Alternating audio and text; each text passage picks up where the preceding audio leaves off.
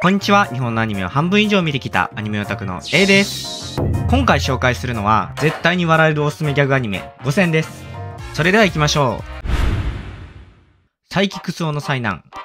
この作品は普通に過ごしたい超能力者の主人公サイキクスオが周りと自分の超能力に振り回される日常を描いたアニメです。まず、周りの個性が強すぎるっていうところ。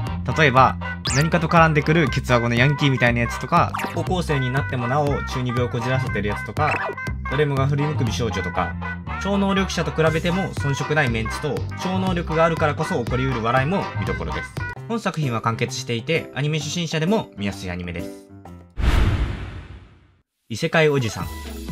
この作品は17年間昏睡状態だったおじが目覚めたかと思ったら、急にグランバハマルから帰ってきたと言い出し、そんなおじの話を聞くと、どうやら異世界に行っていた。おじの魔法でその異世界での階層を見ていくのを描いたアニメです。おじの異様なセガ愛。その愛がもはや、セガは人生と言わんばかりの熱弁っぷり。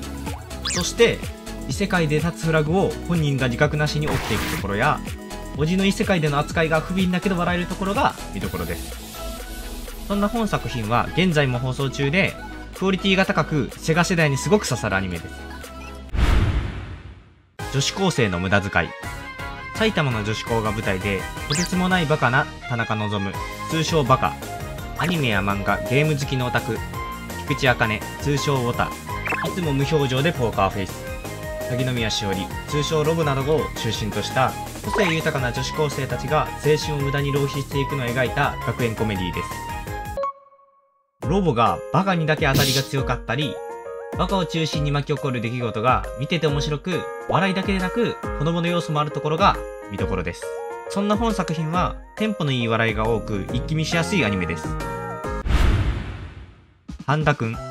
この作品は書道の大家の息子にして、自らその道で活躍する高校生書道家の半田生。彼は周りからカリスマとして一目置かれているが、本人は周りから嫌われていると思っている、そんな勘違い日常コメディアニメです。あらすじでも言った通り、本人は周りから嫌われてると思ってるんですが、実は違うそのギャップに笑えたり、半田生を崇拝する集団もいたりして、そんなカリスマ半田くんの行動を深読みして一喜一憂する周りの反応も見どころです。そんな本作品はバラカモンという作品のスピンオフ作品なので、半田くんを見た後にバラカモンを見るとまた違った楽しみ方もできるアニメです。サバゲブ。この作品は青桐学園高校に転校してきた主人公園川桃香が成り行きでサバゲ部に入部することになり、そんな桃香のサバゲ部での女子高生ライフを描いた学園コメディアニメです。サバゲ部なのにもはやサバゲ部じゃなかったり、これは見たらわかります。主人公の鬼畜っぷりが見ててとても笑える。あと、このアニメを見るにあたって、頭を空っぽにして深夜テンションで見るのをおすすめします。そんなアニメです。以上、絶対に笑えるおすすめギャグアニメ5選でした。ご視聴ありがとうございました。